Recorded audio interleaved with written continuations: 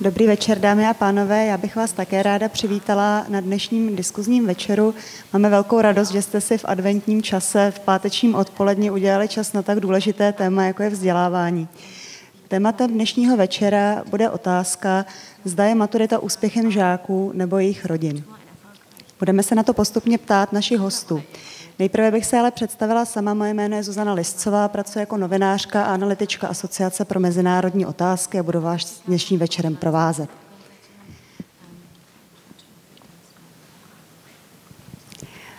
A teď už bych ráda představila naše dnešní hosty. Po mé pravé ruce sedí paní Jana Straková. Dobrý den. Z Ústavu eh, výzkumu a rozvoje vzdělávání Pedagogické fakulty Univerzity Karlovy která eh, se většinu svého profesního života zabývá realizací výzkumů mezinárodních úrovně vzdělanosti a právě třeba otázkou toho, jaký vliv má rodinné zázemí na výsledky žáků. Vedle ní sedí pan Ivo Helebrand, který k nám přijel z, který k nám přijel z Ostravy, eh, z Mezinárodního gymnázia First International School of Ostrava a který nám bude eh, povídat, jak eh, vlastně věci fungují v praxi. Eh, naším zahraničním hostem pro dnešek je pan Georg Krab, který za námi přijel z Berlína, ale k Praze má velký osobní vztah, protože zde přibližně 10 let žil, pracoval na německé škole Praha a také řídil německo-českou bilinguální větev eh, Žižkovského gymnázia na Pražačce. Posledních 12 let působil jako ředitel gymnázia v Berlíně Neuköllnu, což je čtvrť s velkým podílem přistěhovalců. Dobrý večer. A naším posledním hostem je dneska paní Jitka Kmentová, která je ředitelkou Pražského gymnázia na Zatlance. Já bych naše hosty nejprve poprosila o krátký úvod, o to, jestli by mohli se pokusit zodpovědět tu otázku, kterou jsme v úvodu položili. To znamená otázku, zda a jaké tedy má vliv rodinné zázemí na výsledku žáků. Zda je maturita jejich úspěchem nebo úspěchem jejich rodin.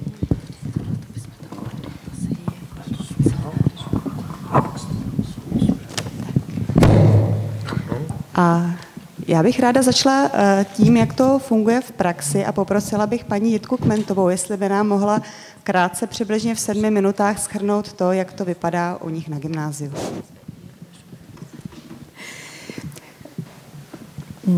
To téma není pro mě moc jednoduché, protože eh, máme spoustu dobrých nápadů, ale hodně těžko se v praxi uplatňují.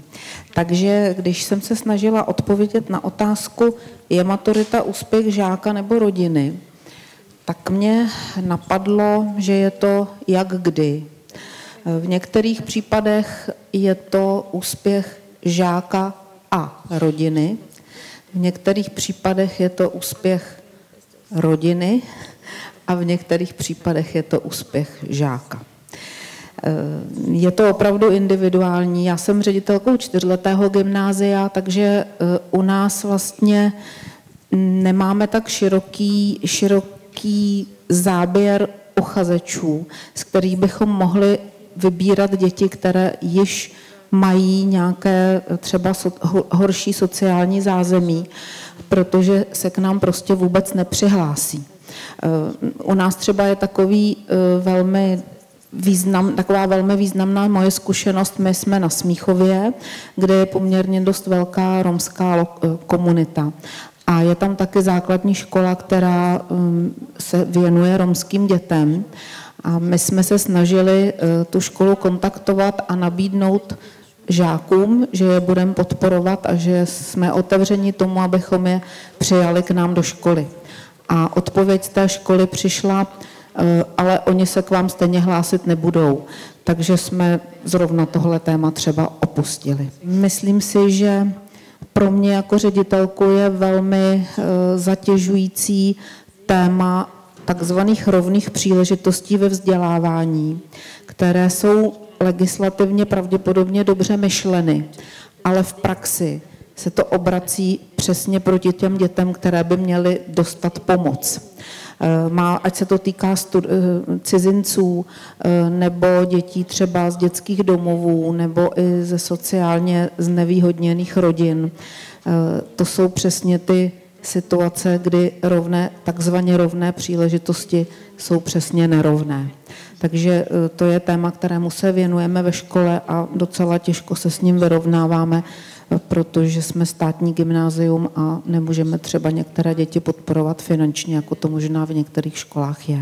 Já bych asi souhlasil s kolegyní e, ze Zatlanky, že nejdříve ta odpověď na tu otázku, že ano, je to velice různorodé, je to vždycky úspěch částečně někoho, částečně někoho druhého. Ještě bych možná doplnil, že určitě to i úspěch školy částečně, která společně se žáky a společně s rodiči směřují k tomu cíli, kterým teda je maturita v našem případě a potom po případě vysokoškolské studium. A samozřejmě, že my jako škola, jako moderní vzdělávací instituce se snažíme aktivně jak s žáky, v druhé řadě i s rodiči velice intenzivně komunikovat, snažíme se být empatičtí a snažíme se opravdu poznávat i to zázemí těch studentů, protože eh, někdy vy vidíte často jenom tu špičku toho ledovce ve škole a někdy nevíte mnohdy, co je pod tou, pod tou hladinou, proč ten žák se chová takhle, nebo proč zrovna v tomto období mu to nejde. A máme v tom asi výhodu, že nemáme tolik žáků jako, jako státní gymnázia, máme nastavený limit 20 studentů ve třídě, celkem je na našem gymnáziu, které je teda osmileté a čtyřleté, 145 žáků v současnosti, to znamená v každém, v každém ročníku máme jednu třídu a v tom je to asi jednodušší, že opravdu, že opravdu ty žáky známe, známe všechny. Já osobně, i když je všechny neučím, tak je znám. Z mnoha rodičí se stýkáváme a dovedeme trošičku teda proniknout do hlubin té studákovi duše takto a mnohdy to teda pomůže vyřešit nějaké ty problémy. Co se týká teda té různorodosti přijatých uchazečů nebo toho našeho portfolia žáků, když to tak řeknu, tak je to různorodé a jsou to, jsou to děti z různých rodin, z různých sociálních vrstev, a i když možná máme trošičku volnější ruce v některých věcech, tak přesto úplně, úplně stejná situace. Někteří lidé se prostě k nám hlásit nechtějí a nebudou a opravdu u nás studují žáci, eh, kteří chtějí studovat na gymnáziu, chtějí typ vzdělávání, který my nabízíme a kteří prostě mají chuť. Právě tento týden jsem dořešil záležitost našeho prvního oficiálního asistenta pedagoga pro eh, handicapovanou dívenku ve třetím ročníku a musím teda tady podpořit, že někdy to možná je takové pro tu školu velice zatěžující s tím letím se prokousávat, protože to trošku mě stálo nervy a papírové byrokracie s krajem. A nakonec, když teda asistenta pedagoga přijmete na poloviční úvazek, tak on dostane takové srandovní penízky, když to řeknu, tak nevím, jak ti lidé jsou motivováni tom potom pokračovat, ale ten elán, píle a možná entuziasmus těch lidí to jakoby doposud přebíjí a takhle je to zatím asi s učiteli. Chtěla jsem se zeptat, paní Straková, vaším eh, polem působnosti je statistika. Odpovídá to, co jsme tady zaslechli jako příklad z praxe eh, těm velkým číslům? Je Česká republika na tom jinak v mezinárodním srovnání než jiné země? Hrají tady rodiny větší roli v tom, jestli dítě bude ve vzdělávání úspěšné nebo ne? Česká republika, eh, stejně jako vlastně ostatní vzdělávací systémy, eh, je na tom tak, že samozřejmě eh, dosažené vzdělání závisí na rodinném zázemí, to znamená děti z motivovaných, lépe situovaných rodin mají větší šanci, že teda toho maturitního vzdělávání dosáhnou. Ten rozdíl mezi těmi vzdělávacími systémy je v tom, jak velké jsou vlastně rozdíly v šancích těch dětí, které pocházejí z lepšího rodinného zázemí, z horšího rodinného zázemí. A tady můžeme říci, že Česká republika je zemí s velmi silnou závislostí eh, dosaženého vzdělávání na výsledcích vzdělávání. Eh, to, co je špatné, je, že se vlastně ty šance eh, těch dětí na maturitní vzdělávání těch dětí z méně podnětného rodinného zázemí, jak se relativně snižují a tou druhou vlastně znevýhodněnou skupinou v přístupu k maturitnímu vzdělávání jsou chlapci. A my tedy pozorujeme, že se zvyšují vlastně v posledních letech rozdíly vlastně ve výbavě, kterou eh, dostávají děti v maturitních a nematuritních oborech. A to, co je vlastně paradoxní, je, že my to v České republice vlastně velmi obtížně sledujeme, protože eh, tvůrci vzdělávací politiky vlastně systematicky nemonitorují eh, tu, ty rozdíly v té výbavě dětí v těch maturitních a nematuritních oborech. Takže ty poznatky, které máme, máme pouze z mezinárodních výzkumů, z mezinárodních výzkumů dospělých a tam jsou ty poznatky jaksi limitované tím, že ty výzkumy probíhají jednou za deset let. Eh, to, co mně připadá vlastně Eh, hodně důležité je, eh, jakým způsobem eh, se podílí vlastně na té věci ten systém. U nás je hodně zakořeněná představa, že je třeba děti rozdělovat, abychom je mohli efektivně vzdělávat, ale ten problém je v tom, že to rozhodování vlastně o té kariéře je výlučně vlastně z odpovědností té rodiny. Ta škola ty děti žádným způsobem nemotivuje, ti rodiče sami dělají to rozhodnutí, jestli to dítě budou hlásit do maturitního oboru nebo ho nebudou hlásit do maturitního oboru. A v posledních letech my se vlastně setkáváme s tím, že zaměstnavatelé ehm, velmi vlastně volají potom, aby se zvýšil podíl žáků v nematuritních oborech. Eh, a tvůrci vzdělávací politiky jim všemožně vycházejí vstříc. Eh, v roce 2011 až 2015 jsme měli eh, v hlavním strategickém dokumentu v České republice v dlouhodobém záměru rozvoje vzdělávání vlastně cíl omezit přístup dětí k maturitnímu vzdělávání explicite, což je vlastně v mezinárodním kontextu poměrně paradoxní záležitost. A v letošním roce jsme vlastně zavedli přijímací zkoušky do maturitních oboru. A to je věc, která je velmi kontroverzní a myslím, že je tomu věnována velmi malá pozornost, protože e, ty zkoušky do maturitních oborů vlastně způsobí, že ty děti, které už jsou znevýhodněny tím, že rodiče nehlásí do toho e, maturitního studia, tak budou znevýhodněny tím, že se jim ty základní školy budou v těch vyšších ročnících povinného vzdělávání méně věnovat, protože oni se budou soustředovat na ty děti, které budou ty přijímací zkoušky skládat, protože se budou obávat, že budou na základě úspěšnosti těch dětí v přijímacích zkouškách porovnávány.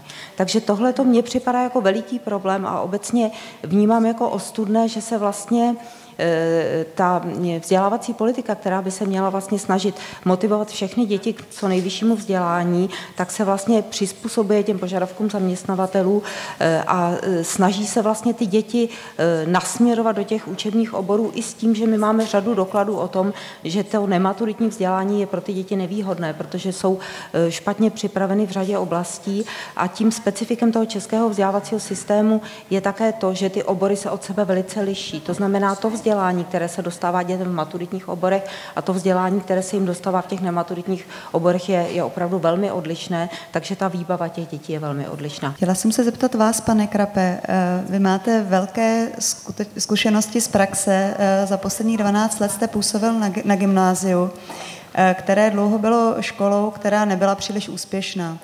Za vašeho působení se jí podařilo pozvednout mezi šest nejlepších škol v Berlíně a zároveň eh, jste dokázal v té škole integrovat eh, do toho stávajícího vzdělávacího systému eh, mnoho dětí, které byly vlastně těmi svými výchozími podmínkami znevýhodněny.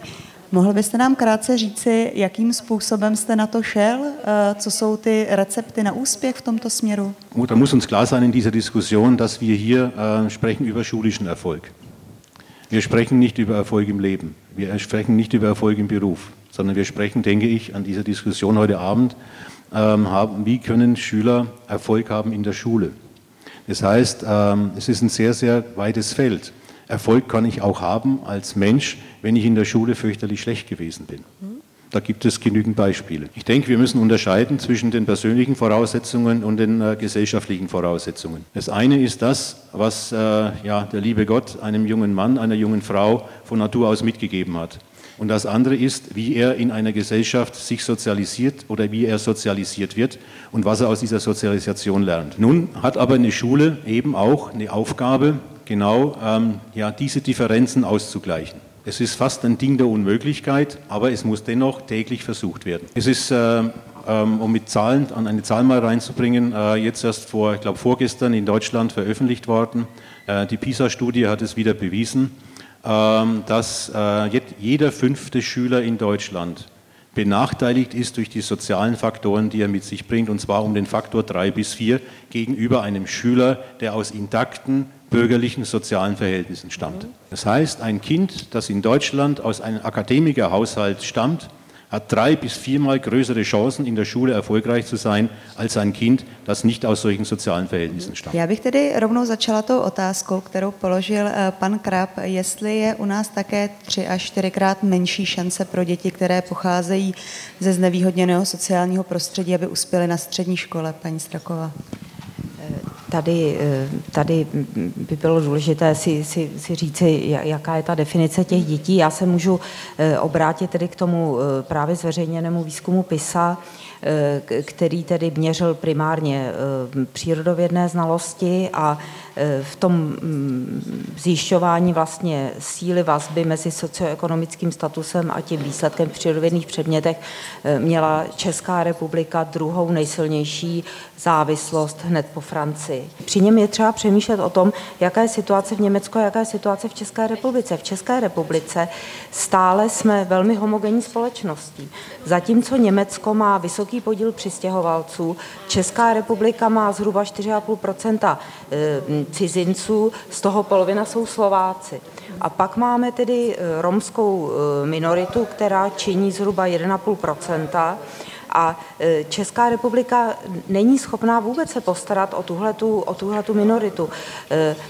Pan ředitel mluvil o tom, jak oni přemýšleli o budoucnosti vlastně svých přistěhovalců, kteří by potom ne, nemohli e, studovat ve středních školách, nemohli by vykonávat žádné povolání. A my jsme v situaci, kdy drtivá většina romských žáků není schopna vystudovat ani ten nematuritní obor.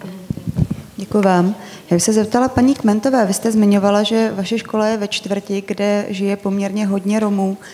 A říkala jste, že také z vaší strany byla vůle je přesvědčit, aby na vaší školu přišli a do toho studia se zapojili. Jaké jsou hlavní důvody pro to, že se to neděje a co by případně mohl udělat stát pro to, aby se tak stalo? Je to tak, že to ty rodiny vlastně ani nenapadne k nám ty děti dávat. To možná je pro nás nějaký podnět, že bychom třeba měli se nějak víc angažovat v tom náboru, což je pravda, že jsme nikdy neudělali, ale očekávala bych, že spíš ta základní škola, která zná situaci těch svých žáků, třeba s námi vstoupí eh, do rozhovoru, jak bychom těm dětem mohli pomoci, co bychom pro ně společně mohli udělat. Mm, ale to se neděje. Chtěla jsem se zeptat, eh, má soukromá škola nějaké jiné možnosti, jakým způsobem děti tedy z netak privilegovaného rodinného prostředí do toho vzdělávacího systému integrovat? Já bych řekl, že my to máme úplně stejně. My jsme sice soukromá škola, ale státem máme dané úplně stejné podmínky a snažíme se k tomu přizpůsobit ty naše možnosti. Eh, jak jsem zmínil, my se, jakoby jednou ze základních filozofií naší školy je, že opravdu bychom se chtěli co nejblíže přiblížit tomu konceptu být komunitní školou. To znamená být otevření všem, takže opravdu my rádi přivítáme studenty nebo žáky eh, z jakéhokoliv prostředí, jakéhokoliv, jakéhokoliv vyznání, jakéhokoliv eh, mateřského jazyka. Z tohoto důvodu vlastně původně naše škola vznikla, abychom přilákali na Moravskoslezského regionu dětí investorů, protože se tehdy otevírala ona korejská automobilka a tak dále. Takže eh, my opravdu my opravdu nabízíme to studium všem, každý musí projít přijímacím řízením, to ano, ale ta, jak, jsem, jak jsem zmínil v, te, v tom mém prvním výstupu, to, to spektrum těch studentů je opravdu různorodé. Jsou tam zástupci, řekněme, střední třídy, kteří teda to školné které v našem případě je 70 tisíc ročně, pro jako soukromá škola jsou schopni zaplatit. Je tam pár studentů z té vyšší třídy, kteří to zaplatí bez problému a jsou tam studenti i z těch nižších sociálních vrstev, kteří prostě chtějí tento typ vzdělávání, ví, že studium jim umožněno bude, pokud uspějí přijímacích zkoušek a my jako škola jsme i pro ně připraveni třeba ve formě, eh, ve formě nějaké slevy ze školného. My jsme tam od toho, abychom všemi možnými prostředky, které máme, jim to studium a to vzdělání umožnili. Takže samozřejmě si to žádá práci navíc, žádá si to určité koncepční kroky a snažíme se to postupně takhle zabudovávat a díky tomu počtu studentů, který zatím máme, tak eh, si myslím, že se nám to daří a do posud asi za 6 nebo 7 maturitních ročníků, které jsme měli, tak každý prostě uspěl a jak jsem řekl, byli to studenti i kteří neměli češtinu jako mateřský jazyk a uspěli v té písemné práce v češtině, takže takhle bych to asi zhrnul za nás. Chtěla jsem se zeptat uh, pana Krapa, vy máte bohaté uh, zkušenosti tedy se vzděláváním studentů nebo žáků, jejichž mateřskou řečí není Němčina a kteří pocházejí částečně třeba i z rodin, které nejsou vzdělané, nebo například někteří rodiče nejsou vzdělaní do té míry, že jejich znalosti hraničí s analfabetismem. Eh, co jste se naučil v Praze, co jste poté mohl použít v Neuköllnu a jaké jsou ty hlavní recepty na úspěch v tomto směru? Vielleicht möchte ich äh, erstmal noch ganz allgemein auf äh, was zum deutschen Bildungssystem sagen. Das deutsche Bildungssystem ist nicht in der Lage, wie in Tschechien ein einheitliches Bildungssystem zu sein, aufgrund der föderativen Struktur. 16 äh, Bundesländer, 16 unterschiedliche Schulsysteme. Das heißt, der Weg dorthin ist aber sehr, sehr unterschiedlich. Und deswegen kommen in den einzelnen Bundesländern auch sehr unterschiedliche Ergebnisse zustande. Während in Berlin durchschnittlich etwa, ich, hoffe, ich sage nichts falsch, ich habe keine, keinen Zettel in der Tasche stecken, nachgucken, aber ich glaube, es ist richtig zu wissen, ähm, etwa 43 Prozent eines Jahrgangs Abitur machen, machen in Bayern durchschnittlich 13 Prozent eines Jahres Abitur, weil in Bayern die Segregation, die Selektion äh, sehr frühzeitig stattfindet. Das geht schon los beim Übergang von der Grundschule zur Oberschule, die in Bayern in der Regel nach der vierten Klasse erfolgt, in Berlin nach der sechsten. Und da knüpft sich logischerweise die nächste Frage an, was ist nun besser? Ja, wenige hochqualifizierte Abiturienten oder eine breite, gut qualifizierte äh, Abiturientenschaft? Äh, ich denke, die zweite äh, Antwort ist die richtige. Ähm, in Berlin hat man, denke ich, aus der Erfahrung der letzten Jahre gelernt. Äh, der ähm, Anteil von Kindern, mit Migrationshintergrund ist in Berlin immer stärker gewachsen. Da gehören auch die Sinti und Roma dazu. Das ist aber nur ein kleiner Prozentsatz davon. Der größte Teil sind türkische und arabische Familien, die ihre Kinder in die Schulen schicken müssen. Ähm, man hat, glaube ich, gelernt, ähm, dass man so früh wie möglich an die Kinder und an die Familien herangehen muss. Ähm, das heißt, ähm, seit etwa, wir sind in 2016, etwa zwölf Jahren, hat man in Berlin auch äh, unter dem Druck äh, der Erfahrungen der Schulen selbst äh, in der Politik, in der Senatsverwaltung Konzepte entwickelt ähm, und auch finanziell ähm, ist man dabei, ähm, es zu untermauern.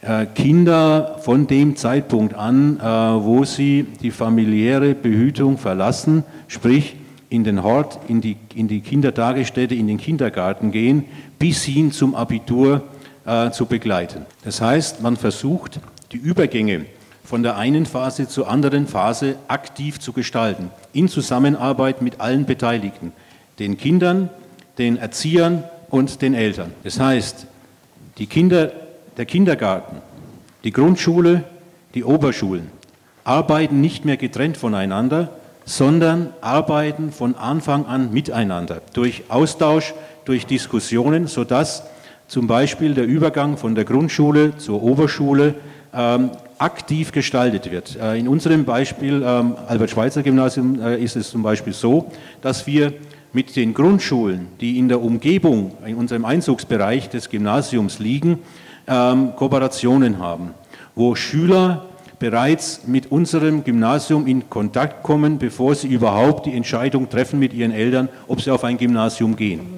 Das heißt, ähm, das geht an, dass wir zum Beispiel eine Kooperation haben mit dem großen Basketballverein in Berlin, Alba Berlin, äh, wo Kinder gemeinsam mit unseren Schülern ähm, ein Schüler, ein Schüler, eine Schülerliga bestreiten. Das heißt, sie kommen zu uns in die Schule und spielen mit unseren Schülern aus den sechsten, siebten Klassen Basketball und logischerweise wird da auch über Schule gesprochen in der Kabine äh, für Schüler aus den Grundschulen. Das heißt, sie kommen bei uns für drei oder vier Tage und begleiten die äh, Sechsklässer im ersten Schuljahr an der Oberschule äh, mehrere Tage im Unterricht. Sie sehen, äh, wie der Unterricht abläuft was dort in welchem Tempo ähm, erledigt wird und wie gearbeitet wird. Chtěla jsem se zeptat, existuje v českém eh, prostředí eh, nějaká úvaha nebo nějaký plán, jakým způsobem tohle realizovat u nás? Já, já jsem o tom právě teď přemýšlela. Pan ředitel mluví o tom, jak to dělají oni. A já vlastně nevím, jak eh, moc je to vlastně iniciativa jeho a jedné školy a jak moc je to vlastně věc, která je třeba systémová v Berlíně.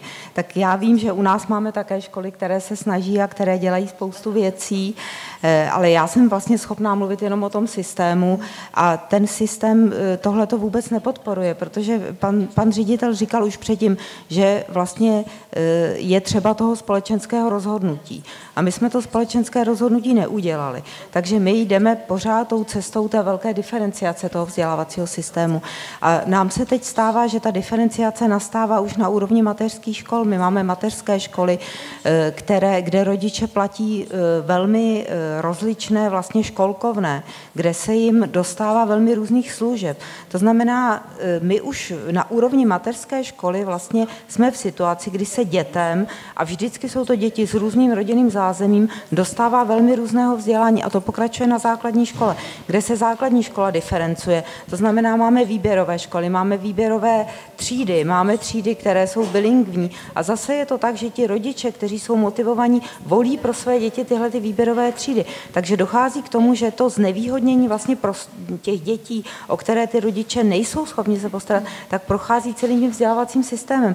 A my teď mluvíme o tom středním, o tom středním školství, kde samozřejmě e, je ten fenomén stejný, ale ty střední školy nemohou vlastně udělat tu práci za to předškolní a základní vzdělávání. Takže ten problém je vlastně celém našem vzdělávacím systému a proto pro nás je velmi obtížné, i když ty školy některé střední jsou aktivní a chtěli by tohle to udělat, jako to například chtěla udělat paní ředitelka Kmentová, tak je už hrozně obtížné vlastně to nějakým způsobem dohonit. A chtěla jsem se tady zeptat ja, na našich důležitých... Vielleicht kann ich ganz kurz antworten und die Frage beantworten. Äh, der Ausgangspunkt waren die Aktivitäten der Schulen und die Politik hat darauf reagiert. Paní Kmentová, chtěla jsem se zeptat, slyšela jste od svých kolegů, eh, ředitelů jiných gymnází, že by se o něco podobného pokoušeli, například v jiných eh, pražských čtvrtích nebo v jiných českých městech a že by v tom byli úspěšní?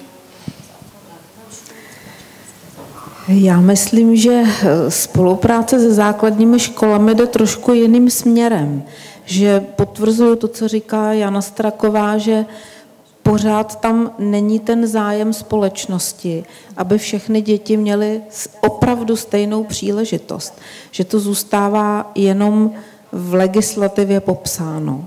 Takže určitě existují nějaké další školy. Já se přiznám, že my u nás ve škole se spíš snažíme podávat pomocnou ruku těm dětem, které už tam máme a u kterých vidíme, že to potřebují. O tom, myslím, mluvil i pan ředitel. Eh, já bych v tuto chvíli ráda otevřela eh, naší debatu otázkám z publika. Máte někdo nějaký dotaz? Tak tamhle hned pána, prosím. Eh, dotaz na pana Krapa, jak je to v Německu s propadáním? Das heißt, man hat die Dreigliedrigkeit des Schulsystems in der Oberschule abgeschafft und hat gesagt, alle Schüler, die in eine Oberschule gehen, müssen die Möglichkeit haben, das Abitur zu machen. Aber wir bieten zwei Möglichkeiten. Eine Gruppe macht das Abitur nach insgesamt 13 Schuljahren und die andere Gruppe macht das Abitur nach 12 Jahren. Wir schaffen das aber nicht in einer Einheitsschule, sondern in zwei Schularten für den Oberschulbereich. So entstand die integrierte Sekundarschule, die Hauptschule und Realschule vereinigte mit dem Ziel, Schüler die Möglichkeit, ich sage bewusst, die Möglichkeit zu bieten, das Abitur nach 13 Jahren zu machen. Ähm, man war sich oder man ist sich von vornherein im Klaren gewesen, dass davon in, diesen, in dieser neuen Schulart nur ein geringerer Teil davon Gebrauch machen wird. Die Rahmenlehrpläne, wie gesagt, sind in dieser Sekundarschule im Endeffekt vergleichbar mit den Rahmenlehrplänen im Gymnasium, sodass das Abitur, das hinterher rauskommt in der Sekundarschule, den gleichen Wert hat wie das Abitur am Gymnasium. Aber die Schule, die Sekundarschule hat ein Jahr mehr Zeit, die Lerninhalte zu verteilen und damit das Lerntempo zu senken. Und an diesen Sekundarschulen gibt es kein Durchfallen mehr. Když se podíváme do Čech, kde je ten systém oproti tomu velice selektivní, kolik studentů tedy zůstane v těch, eh, jak, by, jak řekl pan Krab, sběrných školách, kde se schromažďují studenti, kteří jinde úspěšní nebyli? Eh, no, u nás tu roli těch Hauptschule vlastně plní ty nematuritní obory. To znamená tady, já jsem velice ráda, že jsem si mohla vyslechnout, jak to tady v Berlíně řeší, protože podle mého názoru toto je přesně recept pro nás. Eh, samozřejmě ani u nás nepřipadá v úvahu spojit všechny ty tři větve vlastně toho středoškolského vzdělání, protože by to narazilo na velký odpor rodičů, ale ponechat jakoby ten gymnaziální obor separátně a sloučit vlastně ty, ty maturitní a nematuritní obory s tím, že by byly e, všechny tedy otevřeny tomu dalšímu vzdělání, je samozřejmě cesta i pro nás, protože tím pádem se nebudou v nějakých oborech koncentrovat děti, které pocházejí z nemotivovaného prostředí a které vlastně v tom, v tom vzdělávacím systému nemá kdo motivovat. A tenhle ten recept by pro nás měl ještě další efekt, že by se e, ten obsah toho vzdělávání přiblížil. Protože v současné době, už jsem to říkala, ty, ty rozdíly mezi tím obsahem vzdělávání v těch jednotlivých třech větvích jsou velmi vysoké. A tohle to vede k tomu, že se vlastně přiblíží ten obsah vzdělávání, když samozřejmě určitá diferenciace tam bude vždycky a to znamená, že se také zvyšuje ta, ta prostupnost. Takže tohle to by bylo samozřejmě úžasné, ale my jsme v současné době v situaci, kdy ta diferenciace na úrovni středního vzdělávání je vysoká a máme tady ty nematuritní obory, kde se e, koncentrují děti, které jsou znevýhodněny svým rodinným zázemím a vlastně dále znevýhodňovány tím prostředím na škole, na které studují a tím obsahem vzdělávání, které se jim tam dostává. Mě tedy hodně zaujalo to, jak jste mluvili o vlastně takových z mého hlediska jdou protichudných tendencích eh, v tom českém školství a ta jedna tendence je vlastně inkluze, o které se teď hodně hovoří a druhá tendence je tedy zavedení něčeho, jako jsou plošné přijímací zkoušky na střední školy. Eh, myslíte si, že tomu státu chybí jakoby jednotná koncepce, jak tedy eh, ten systém udělat prostupnější, jak co nejvíce žáků a studentů do něj integrovat? Paní Straková možná. Já si, já si myslím, že tady chybí teda v první řadě to společenské rozhodnutí, hmm. jako jsme tady o něm hovořili. A potom samozřejmě vidím stále, že se ty, ta rozhodnutí té vzdělávací politiky, že jsou kontraverzní. Jo? Je to, my na jednu stranu vlastně e, se snažíme začlenit děti se speciálními vzdělávacími potřebami do hlavního vzdělávacího proudu, což je z mého pohledu velmi chválihodné. A na druhou stranu vlastně ponecháváme volnou diferenciaci na tom horním одним konci toho spektra. To znamená, necháme, umožňujeme vlastně takový zcela živelný růst různých výběrových škol, ponecháváme víceletá gymnázia. To znamená, to, co hrozí, je, že budeme mít ty děti se speciálními vzdělávacími potřebami jaksi integrované v tom hlavním vzdělávacím proudu, ale že ten hlavní vzdělávací proud se potom stane jakoby tou, tou, tou, tím, tím zbytkovým proudem a e, ty děti motivovaných rodičů budou chodit do těch výběrových škol. A takže mně se zdá, že když jsme řekli, že chceme vlastně tyhle ty děti začlenit, tak jsme zároveň měli říct, že chceme, aby se ty děti vzdělávaly společně. Ale to znamená všechny děti. A to se mi zdá, že jsme neudělali. A potom k tomu přicházejí právě tahle ta dílčí opatření typu jednotných zkoušek, na které si stěžují všichni ředitele, kteří to jsou inkluzí, myslí vážně. Protože e, stejně jako paní ředitelka o tom mluvila, prostě ta, ta, ten jednotný vlastně takovýto standard, kde kde nepřemýšlíme vlastně o těch výjimkách, nepřemýšlíme o tom, jak ho přizpůsobíme dětem, které mají nějaké speciální potřeby, tak ten potom samozřejmě vede k tomu, eh, že se ta inkluze nemůže v těch školách podařit, protože eh, ten systém pořád bude zaměřený na ten výkon a nebude zaměřen vlastně na ty jiné vzdělávací výstupy, které jsou, eh, stojí vlastně za tou ideou toho společného vzdělávání. Já jsem se chtěla zeptat na takovou ještě trošku jinou otázku pana Krapa. A e, to vlastně je taková otázka ne, co e, vlastně přináší ty školy těm, e, dejme tomu, slabším nebo ne zcela standardním žákům, ale naopak, co přináší těm většinovým to, že mohou ten prostor v té třídě sdílet s dětmi, které jsou odlišné.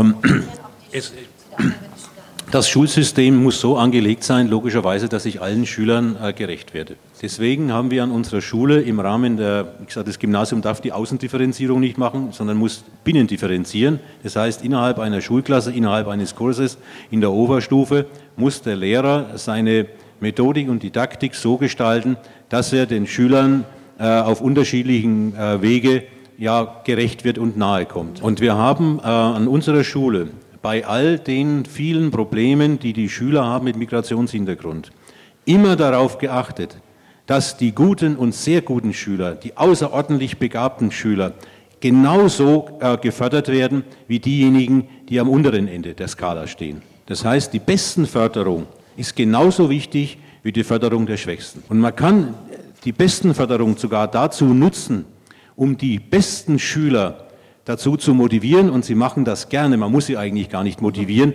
den Schwächsten zu helfen. Das führt dazu, dass Schüler Schüler unterrichten. Und das gibt nichts Besseres. Das heißt, in einem Ganztagsbetrieb unserer Schule gibt es in den Fördermodulen die Möglichkeit, dass Schüler, die besonders in bestimmten Fächern auffallend gut sind, in einer Arbeitsgruppe sind mit Schülern, die besonders schwach sind. Das führt innerhalb der Lerngruppe Klasse zu einem sozialen Ausgleich und gleichzeitig zu einem Ausgleich in den Leistungen. Ich denke, das ist eine richtige, richtige Frage, ganz wichtige Frage gewesen. Wir dürfen bei aller Förderung von Schwachen niemals die Besten vergessen. Und zwar nicht um ihrer selbst willen, sondern um der Gesamtheit der Schülerschaft willen. Weil die Besten fahren da nicht nach oben weg, und fühlen sich wie Albert Einstein, der übrigens gar nicht so erfolgreich war in der Schule, ähm, sondern sie bleiben auf dem Teppich und diejenigen, die vermeintlich unten sind, ja, kommen auf dem Teppich nach oben. Můžu potvrdit a jenom mě tady napadalo při těch jednotlivých ještě diskusních příspěvcích, že velmi důležitou roli v tom celém systému hraje učitel.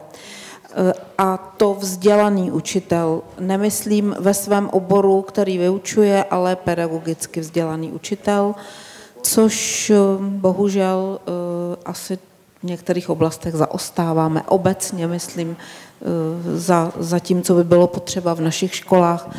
Nem, nemusíme mluvit o inkluzi a o tom, jestli umíme zacházet se všemi možnými výjimečnými situacemi, ale i v tom, co říkal pan ředitel, čeští učitelé potřebují vzdělání, potřebují čas na to, aby se vzdělávali, ten nemají a potřebují podpořit v tom, aby se vzdělávali. Já bych ráda eh, srdečně poděkovala našim hostům za velice zajímavou debatu. Ráda bych poděkovala paní Jitce Kmentové z Gymnázia na Zatlance, panu Georgu Krapovi z berlínského Neuköllnu, panu Ivo Helebrantovi z Ostravy a paní Janě Strakové z Pedagogické fakulty Univerzity Karlovy. Přeji vám hezký večer a krásný advent.